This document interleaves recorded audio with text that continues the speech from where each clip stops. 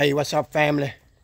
This is your boy Built on a budget, back with another video. Um, still working on that C10. Got a whole lot done.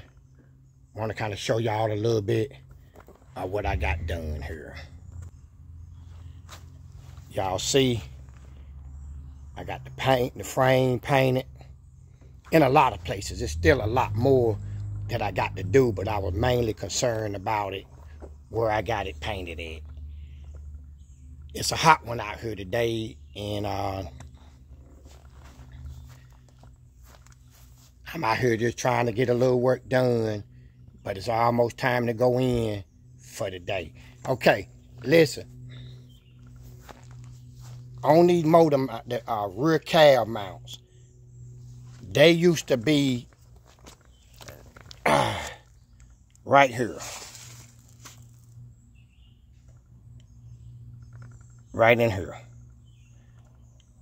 I had to move them back 12 inches and got hardened bolts in them.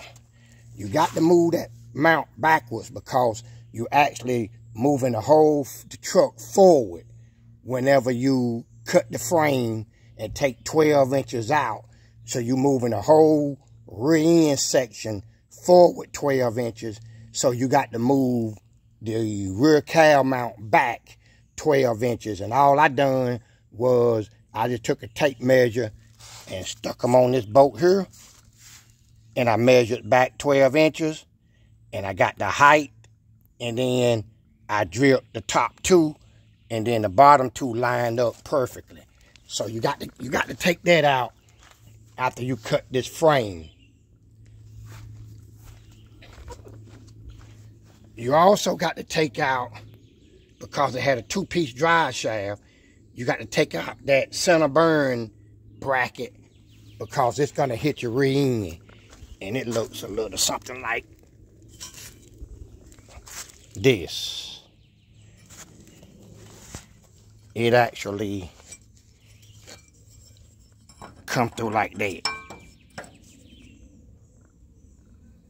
So you got to take that out in order for you to be able to put this this thing on there. Uh,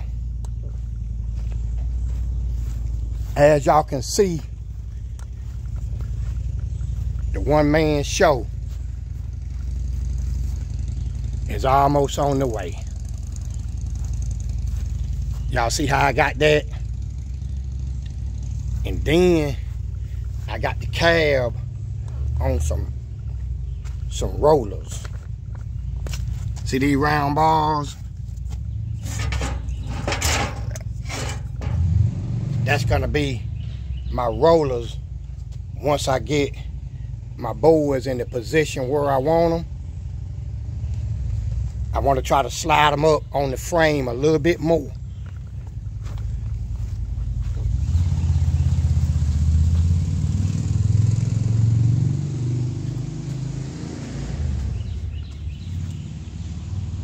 I got to put me some screws in that because uh, it keep popping up. But I need to go get me a screw and screw that down.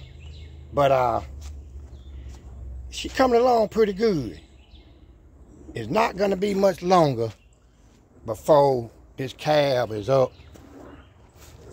on this truck. But that's the ingenuity that you have to do. I went ahead and took that brace out in the back. That's this one right here. Because it's a whole lot easier to get to when you're standing inside of the frame. And that will, uh, that's got to come out. So I got a LS transmission mount ordered. It should be here, uh, they say Saturday. I want to get this cab on so I can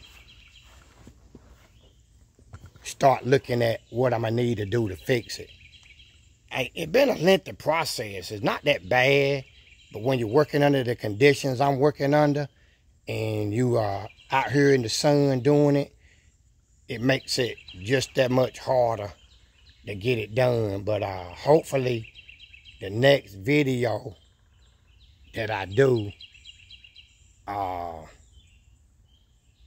y'all gonna see the cab on the frame and then it's gonna go pretty quick because I can move it around once I get it back on there. But uh, yeah, I just wanted to show y'all what I got going on and hopefully I get this thing done. In the next video seat you'll see will be this cab uh, sitting down on the frame. So to this next one, it's your bar built on the budget. Let me know what y'all think about that ingenuity. I'm trying to get her done, boys. To the next one, built on the budget, saying it is hot out here.